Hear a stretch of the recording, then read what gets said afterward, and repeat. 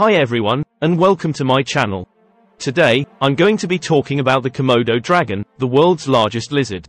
The Komodo dragon is the largest living lizard in the world.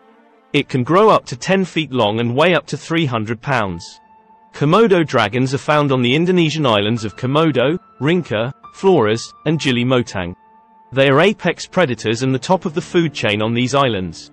Komodo dragons are carnivores and their diet consists of deer, pigs, water buffalo, and even other Komodo dragons. They are ambush predators and will often lie in wait for their prey.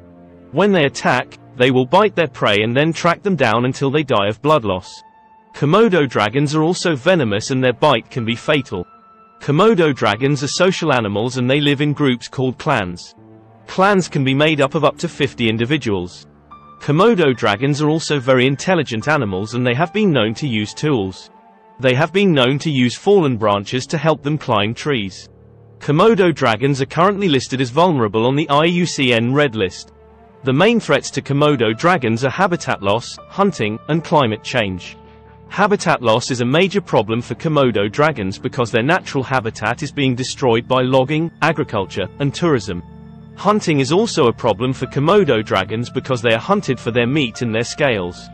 Climate change is also a threat to Komodo dragons because it is causing the sea level to rise, which is threatening their habitat.